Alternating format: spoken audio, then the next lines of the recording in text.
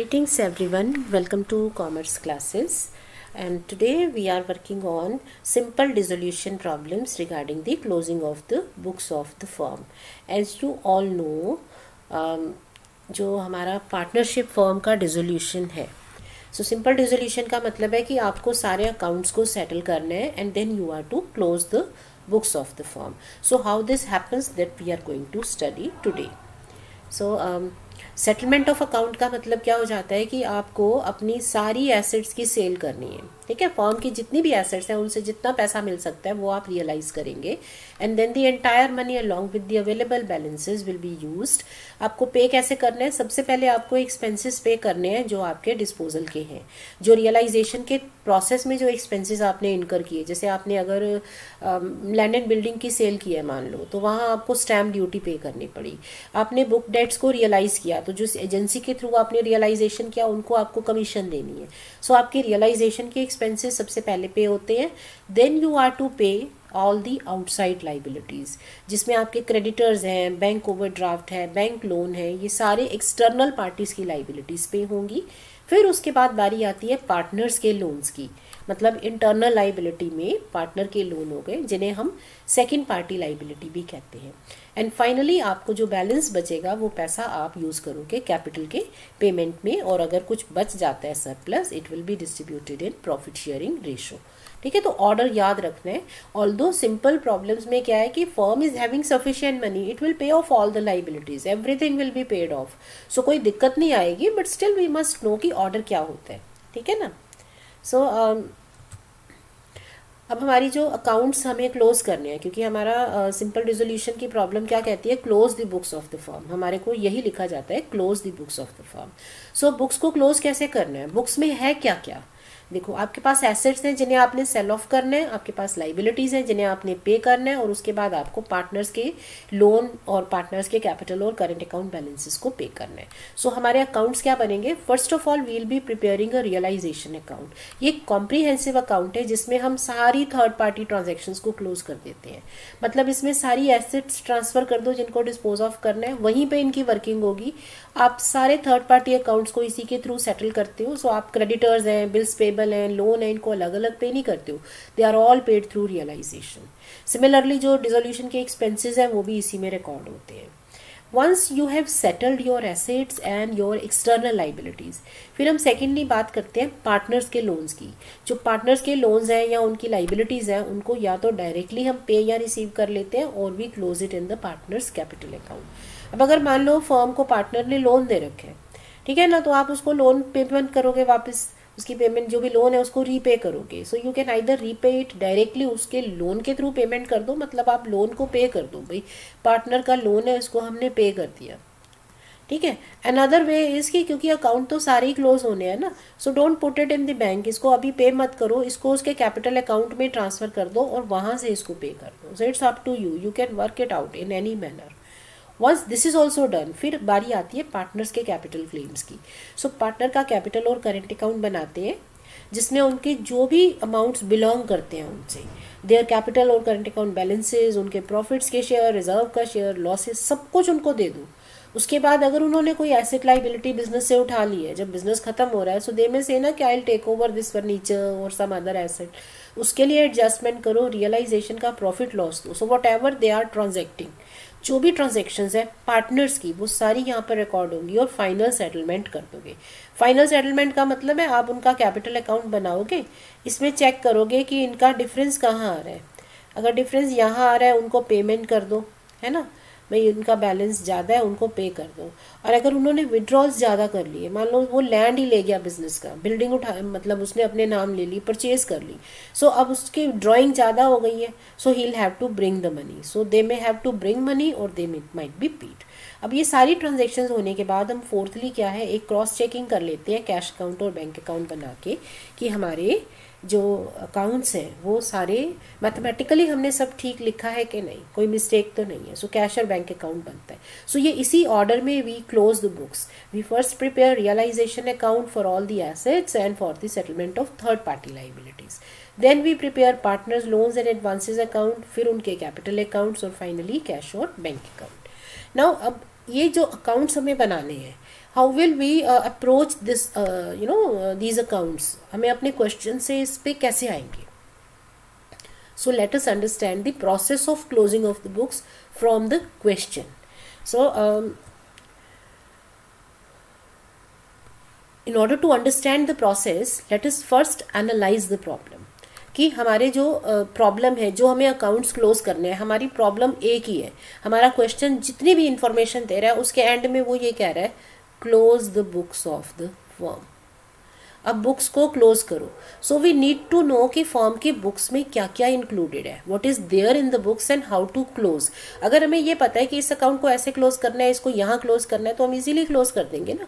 So in order to understand the problem हम analyse करते हैं बैलेंस शीट ये हमें गिवन होती है। ठीक है इसे एनालाइज करने का मतलब है कि इसके कंपोनेंट्स को समझो।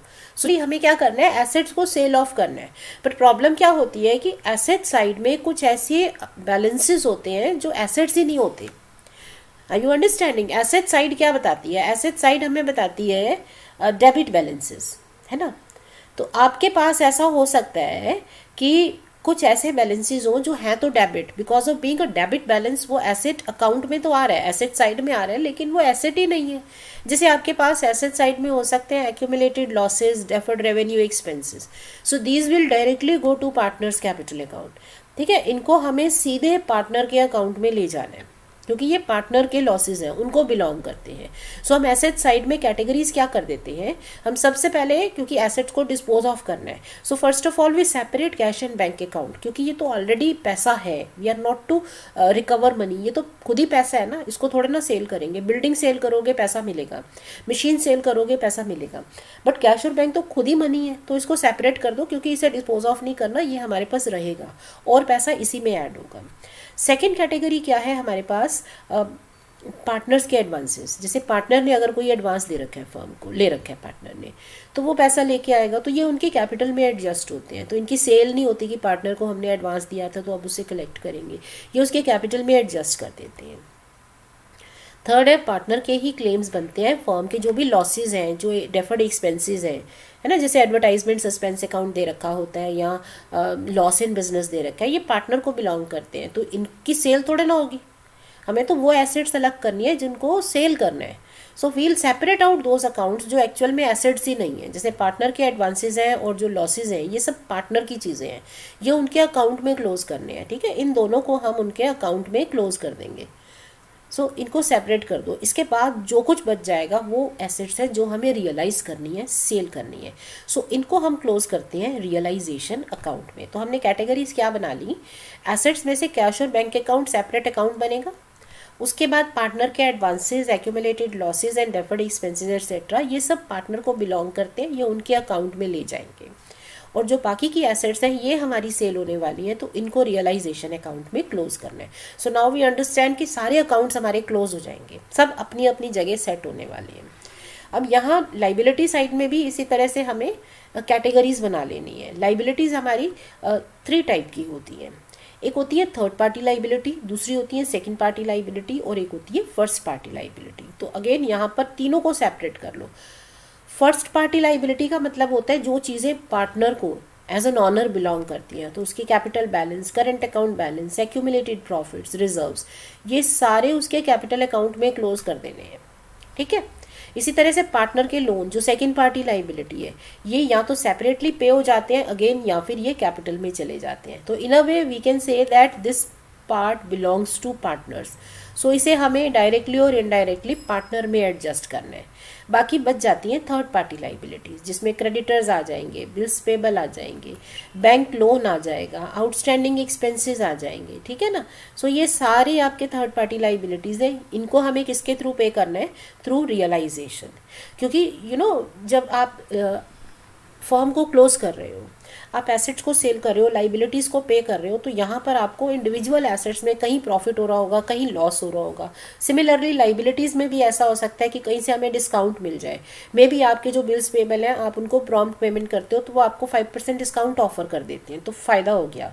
अब हो सकता है क्रेडिटर्स में कोई क्रेडिटर है जो हमने बुक्स में लिखा ही नहीं था। वो एक नया है, वो गलती पकड़ में आई, अब उस क्रेडिटर को पेमेंट करनी है, यहाँ लॉस हो गया।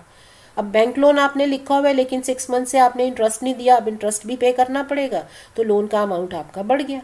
तो यहाँ प्लस माइनस जो है प्रॉफिट लॉसेस हो सकते हैं। तो अगर इनको इंडिविजुअली पे करेंगे तो सोचो कितने सारे प्रॉफिट लॉसेस आ जाएँगे। सो so, कन्वीनियंस क्या कहती है कि हम इन सबको एक ही अकाउंट में डाल दें। सो so, आप अपनी सारी एसेट्स जिनको रियलाइज़ करना है और सारी थर्ड पार्टी लाइबिलिटीज़ को क्लोज कर देते हो रियलाइजेशन अकाउंट में। ठीक है? जो हमने क्लोजर के लिए अकाउंट्स बनाने थे, मैंने बताया ना आपको अभी कि रियलाइजेशन अकाउंट बनता है। पार्टनर्स कैपिटल और करंट अकाउंट बनते हैं। या पार्टनर का लोन अकाउंट भी इसी में आ जाता है। सेपरेट बनाओ या यहीं क्लोज कर दो।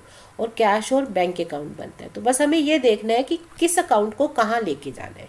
पार्टनर से रिलेटेड सारी चीज़ें पार्टनर के अकाउंट में चली जाएँगी। कैश और बैंक सेपरेट हो जाएगा।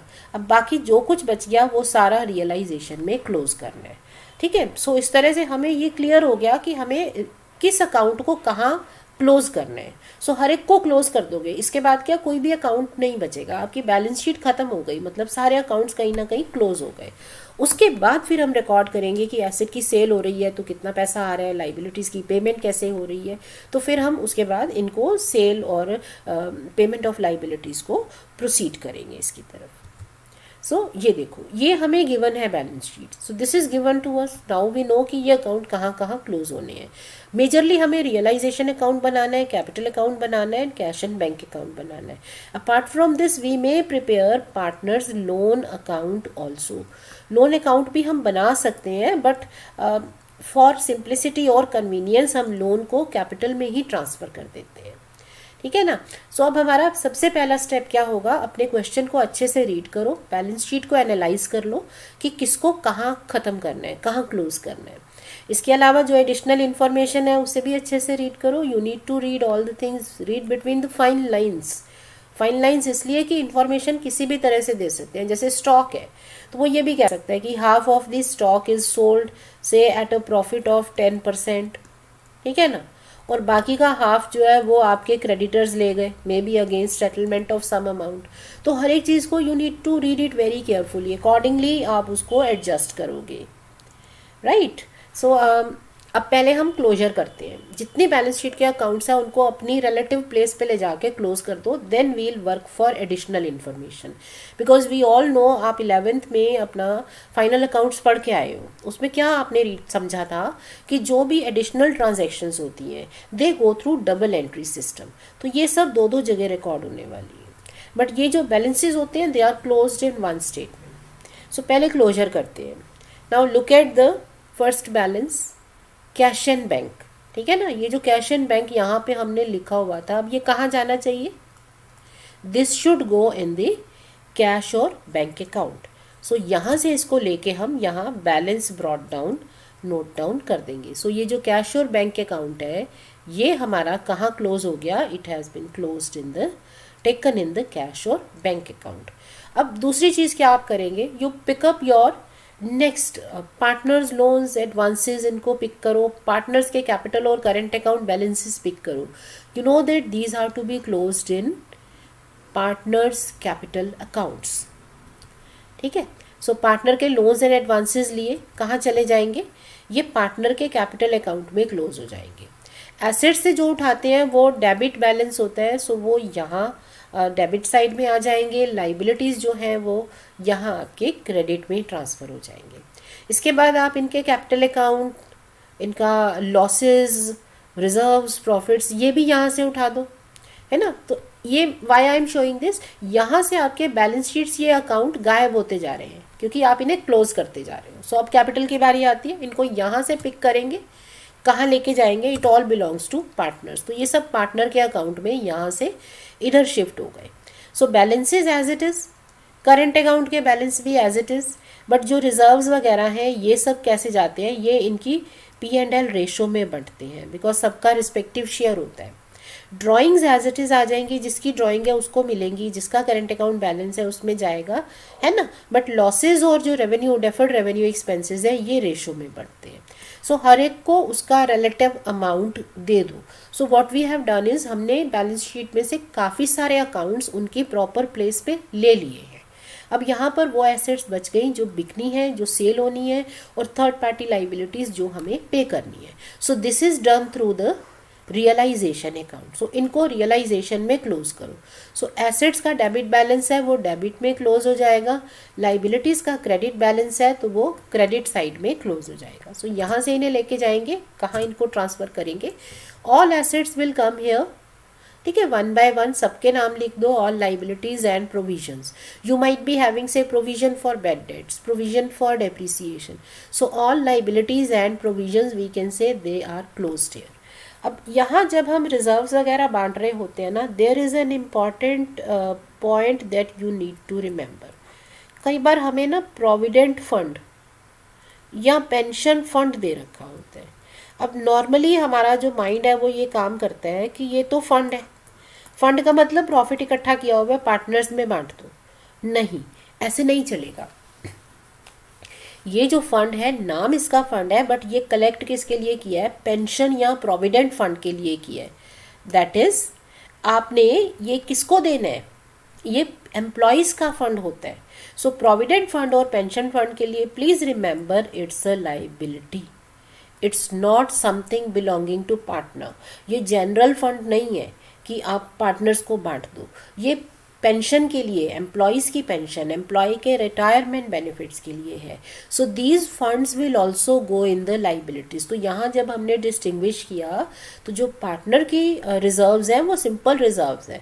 अगर किसी रिज़र्व का नेचर हमें दिख रहा है कि ये तो किसी लॉस के लिए, किसी लाइबिलिटी के लिए है तो वो रियलाइजेशन में जाएगा और ये पे भी होगा। ठीक है? तो आप यहाँ पर you will be writing provident fund if you are given ठीक है प्रोविडेंट फंड है टेन थाउज़ेंड आप लिखोगे लिखोगे भी और आप इसे पे भी करोगे, ठीक है? So what we have done till now अभी हमारा पहला स्टेप हुआ है कि हमने अपने सारे अकाउंट्स क्लोज कर दिए, ये सब अकाउंट्स क्लोज कर दिए।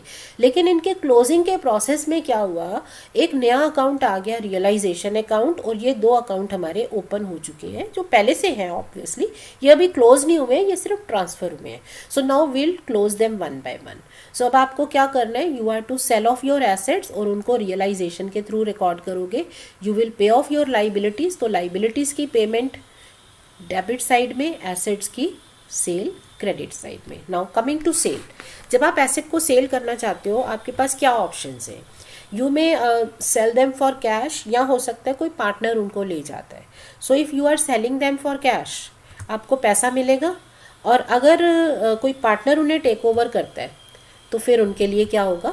वो पार्टनर के कैपिटल अकाउंट में जाएँगी। तो यहाँ पर हम क्या लिखेंगे? बैंक अकाउंट ठीक है ना? ये आ गया bank account assets realised for cash अगर आपने एसेट की सेल कर दी है। ठीक है? पैसा मिलेगा तो कैश में लिखोगे। और in case you have assets being taken over by the partner तो फिर आप उसे पार्टनर के अकाउंट में लिखोगे।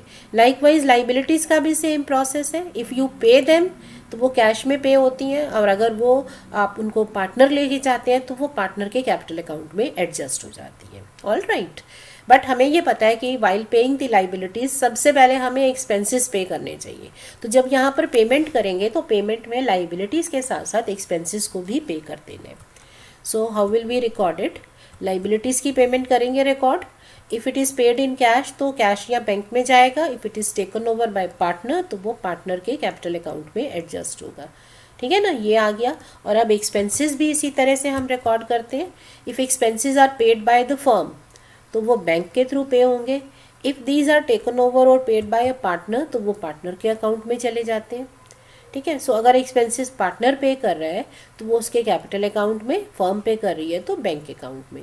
अब समटाइम्स ये होता है कि एक्सपेंसेस की जो रिस्पॉन्सिबिलिटी है, वो पार्टनर को दे देते हैं कि आपका काम है इस फर्म का डिजोल्यूशन करवाना। तो उसके बदले में पार्टनर को कुछ एक्सपेंसेस दिए जाते हैं कि तुम्हें सैलरी मिलेगी या कमीशन मिलेगी। सो वो फर्म का एक्सपेंस है तो वो पार्टनर के नाम से आ जाएगा। अब जब आपने ये चीज़ें यहाँ लिखी हैं ठीक है? तो क्योंकि ये तो ट्रांजेक्शन्स की रिकॉर्डिंग हो रही है ना? ट्रांजेक्शन्स तो हमारा डुअल आस्पेक्ट होना चाहिए क्योंकि ये तो रिकॉर्ड होने तो इसका डेबिट एंड क्रेडिट होना चाहिए। सो so, क्या करते हैं? जब हम इनको यहाँ रिकॉर्ड करते हैं सो so इसको साइमल्टेनियसली भी हम पार्टनर के अकाउंट में अक्रॉस इसकी लेजर पोस्टिंग कर सकते हैं। ठीक है? तो यहाँ से ये लेजर पोस्टिंग हो रही है। एसेट्स की इसे कहते हैं लेजर पोस्टिंग तो आप लेजर पोस्टिंग साथ के साथ कर दोगे, यहाँ रिकॉर्ड कर दोगे। सिमिलरली जो पैसा आया, पैसे को भी आप कैश में रिकॉर्ड कर दोगे। तो ये साथ साथ जर्नल एंट्रीज भी आप रिकॉर्डिंग सारे अकाउंट्स में पैरेलल भी कर सकते हो। या आप एक अकाउंट बना लो और उसके बाद फिर रिकॉर्डिंग करो। अब हमारे क्या हो गया? एसेट्स की डिस्पोजल हो गया। डिस्पोजल का मतलब या तो पैसा मिल गया या पार्टनर ले गया। लाइबिलिटीज सारी चेक करनी पड़ेगी पे ऑफ़ करनी है तो पे कर दो। ठीक है? नाउ कई बार क्या होता है, हमें कुछ एसेट्स और लाइबिलिटीज़ के बारे में बताया नहीं होता। जैसे you might be having here debtors bill receivables patents हैं कॉपी राइट्स हैं, कुछ एसेट्स हैं, उनकी सेल प्राइस नहीं बता रखी। तो अब उनको कैसे सेल करेंगे? So we'll have to remember हमारी एजम्पन क्या होती है कि अगर ये हमारी टेंजिबल एसेट है। टेंजिबल एसेट का मतलब है जैसे assets which we can actually see जैसे प्लांट एंड मशीनरी है फर्नीचर है है ना फर्नीचर एंड फिक्सचर है। तो इन्हें बुक वैल्यू पे सेल कर दो। वील एज्यूम की सेम प्राइस पे सेल हो गई। बट अगर इन टेंजिबल्स के बारे में कुछ नहीं बता रखा इन टेंजिबल्स होते हैं जैसे आपके पेटेंट्स हैं कॉपी राइट्स हैं, ठीक है? अगर इनके बारे में कुछ नहीं बता रखा तो वील एज्यूम कि इनकी सेल नहीं हो पाई, ये नील पे जाएँगे। यूजुअली क्या होता है, जो पेटेंट्स और कॉपी राइट्स है ना they are tied with the buyer अगर आपने पेटेंट बाय किया है तो आप ही इसे यूज़ कर सकते हो, आप इसे आगे ट्रांसफ़र नहीं कर सकते। यूजुअली ये नॉन ट्रांसफरेबल होते हैं। तो अगर इनकी सेल मतलब ये ट्रांसफरेबल नहीं होते तो अगर इनकी सेल के बारे में नहीं बता रखा इट मीन्स इसकी सेल नहीं हो पाई है। ठीक है तो एसेट्स में याद रखो if some information is not there तो उसको क्या करेंगे हम कि एसेट्स को हम मान लेंगे कि टेंजिबल एसेट है तो बुक वैल्यू पे सेल कर दो इनटेंजिबल है तो उसको निल कर दो, उसकी सेल नहीं हो सकती। बट लाइबिलिटीज़ में ऐसा नहीं होगा liabilities shall have to be paid so liabilities के बारे में मान लो क्रेडिटर है प्रोविडेंट फंड है बैंक लोन है, नहीं कुछ बता रखा तो उसे पे करो pay it in full liabilities will be paid in full if no information is given उसके बाद हम रियलाइजेशन अकाउंट क्लोज करते हैं। डिफरेंस अगर डेबिट साइड में आता है तो हमें पता है ये प्रॉफिट है, ये पार्टनर्स में बढ़ जाएगा उनकी रेशो में। बट अगर डिफरेंस दूसरी साइड आता है तो वो लॉस होता है और वो भी उनकी रेशो में बटेगा। सो प्रॉफिट और लॉस अब ये रियलाइजेशन अकाउंट हमारा क्लोज हो गया। Now we come to second account partners capital account इसमें से हमने बैलेंस शीट में कुछ अकाउंट्स ऑलरेडी क्लोज कर दिए हैं। अब रियलाइजेशन से अक्रॉस पोस्टिंग कर दो। तो यहाँ से जो कुछ पार्टनर को मिल रहा है, जैसे उनके एसेट्स टेकन ओवर है लॉसेज हैं, वो सब डेबिट में पोस्टिंग कर दो। You have liabilities taken over और एक्सपेंसेस और प्रॉफिट्स इनकी लेजर पोस्टिंग कर दो क्रेडिट में। सो अक्रॉस पोस्टिंग करने के बाद आप इनको अब बैलेंस करो। यहाँ पे बारी आती है फाइनल सेटलमेंट की। So you settle the account अगर डिफरेंस आपका डेबिट साइड में बचता है तो आप इनको फाइनल पेमेंट कर दोगे। If difference comes here on the credit side it means final receipt तो ये पार्टनर से पैसा मिलेगा। आई होप ये पेमेंट और रिसिप्ट आपको क्लियर है। देखो क्रेडिट साइड बताती है कि पार्टनर ने बिज़नेस में कितना पैसा डाला, उसका क्लेम कितना है, उसने कितनी कैपिटल डाली, उसका शेयर प्रॉफिट में कितना है। ये वो सब उसने फॉर्म में दिया हुआ है, ये उसको लेना है फॉर्म से। Whereas debit side indicates उसकी ड्रॉइंग्स कि उसको फर्म से कितना कितना वो निकाल चुका है या कितने लॉसेस उसको मिले हैं। सो so, अगर डिफरेंस हमारा डेबिट साइड में आ रहा है डेबिट में डिफरेंस तब आता है जब क्रेडिट साइड ज़्यादा होती है। मतलब आपके क्लेम ज़्यादा थे। सो so, पार्टनर का क्लेम ज़्यादा था ड्राइंग कम थी तो आपको उसे क्लेम को पे करना पड़ेगा। सो so, इसलिए इसे हम कहते हैं फाइनल पेमेंट ये पार्टनर को पे करते हैं। और difference if it is coming on credit side it is called receipt receipt का मतलब पार्टनर ने ड्राइंग ज़्यादा कर ली थी, तभी तो यहाँ डिफरेंस आ रहा है। तो अगर वो फर्म से ज़्यादा पैसा निकाल चुके हैं तो उसे फर्म को पे ऑफ़ करना पड़ेगा ना। You will have to pay back मान लो आपने कैपिटल तो फर्म में डाली फिफ्टी थाउज़ेंड की। अब आप उनकी लैंड एंड बिल्डिंग लेके आ गई हो एट्टी थाउज़ेंड की। Now who will agree on that the firm will say you have taken over something more than your claim. तुमने ज़्यादा चीज़ ले ली है तो तुम थर्टी थाउज़ेंड फर्म को वापस करो। सो so, यहाँ जब डिफरेंस आता है मतलब आपने फर्म से ज़्यादा निकाल ली है तो अब आपको पे ऑफ़ करना पड़ेगा। तो ये फर्म को रिसिप्ट हो जाती है ठीक है ना? अब बाकी बच गया कैश और बैंक अकाउंट तो इसमें क्या कर रहे हैं? इसमें because we have already recorded the transaction so सिर्फ़ एक क्रॉस पोस्टिंग करो। सो so, आपने यहाँ बैलेंस लिखा उसके बाद जितना भी आपके पास अमाउंट आ रहा है, वो सब आप यहाँ क्रॉस पोस्टिंग करते जाओ। तो रियलाइजेशन अकाउंट पिक करो, यहाँ से क्रॉस पोस्टिंग करो।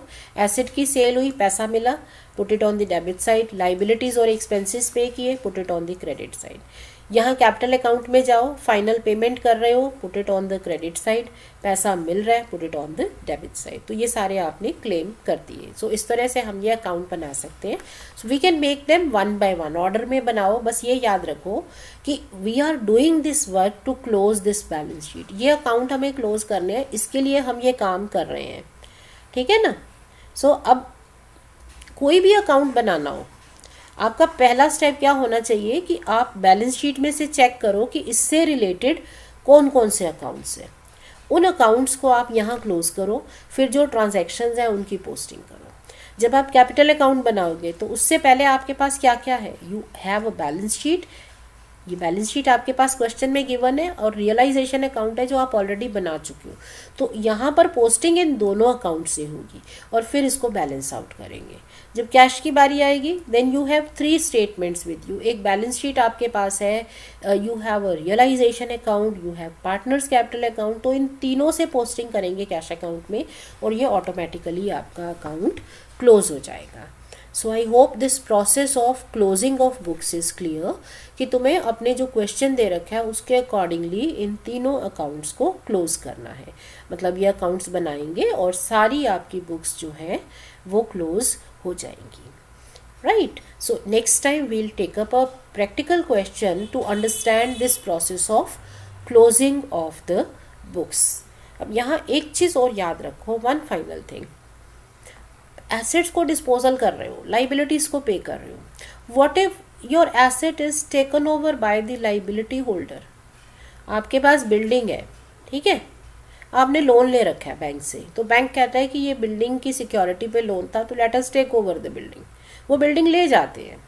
तो अब ना तो बिल्डिंग की सेल हुई, ना पैसा आया, ना बिल्डिंग कोई पार्टनर लेके गया। वो तो लाइबिलिटी ने सेटल कर ली। तो फिर क्या करेंगे? क्योंकि ये इन्होंने आपस में सेटल कर ली ना तो ये दोनों ख़त्म। ना एसेट बची, ना लाइबिलिटी बची। If any balance is left तो वो बैलेंस रिकॉर्ड करेंगे। ठीक है? सो सिर्फ़ बैलेंस की रिकॉर्डिंग करेंगे। मान लो आपकी एसेट है, वही सेम क्वेश्चन मैं ले कैरी कर रही हूँ। सपोज़ आपकी एसेट है बिल्डिंग वन लैख की है। यहाँ आपके पास बैंक लोन है, ठीक है एट्टी थाउज़ेंड का। So they decided to take over building उन्होंने कहा कि हम आपकी बिल्डिंग लेके जा रहे हैं, और अगेंस्ट दैट आपने क्या किया? आपने उन्होंने बिल्डिंग को सेल किया, और बिल्डिंग की सेल से उन्हें पैसा मिला।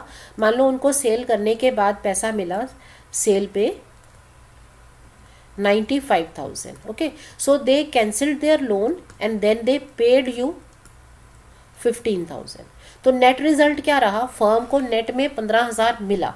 तो फर्म को जब पैसा मिलेगा तो वो यहाँ लिख देगी बिल्डिंग से बैलेंस मिल गया बैलेंस की रिकॉर्डिंग कर दो। मान लो ये बिल्डिंग की सेल 95 पे नहीं हो पाई। इसकी सेल हुई 70,000 पे।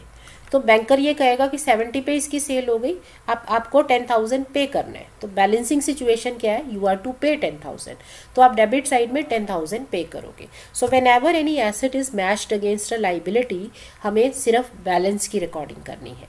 ऑल राइट सो अब ये जो हमने अकाउंट यहाँ पे समझे हैं एक बार इनको फेयर में देख लेते हैं। So this is how your realisation account appears ये हमने बैलेंस शीट से लिया। ठीक है? ये हमने बैलेंस शीट से क्लोज किया। उसके बाद एसेट्स का डिस्पोजल यहाँ लाइबिलिटीज़ विद एक्सपेंसेस की पेमेंट डेबिट में। This is the process known to you बाकी प्रॉफिट और लॉस आ जाएगा क्लोज हो गया। अब पार्टनर के कैपिटल अकाउंट कैसे बनाने हैं? जब इसको बनाना है, हमारे पास दो स्टेटमेंट्स पहले से गिवन है। तो पहला स्टेप होगा कि आप बैलेंस शीट ठीक है? ये जो है, ये बैलेंस शीट से पोस्टिंग करो। फिर आप पोस्टिंग करो रियलाइजेशन से। जिस मिनट आपकी पोस्टिंग्स कंप्लीट हो गई ना, आपका अकाउंट ख़त्म है।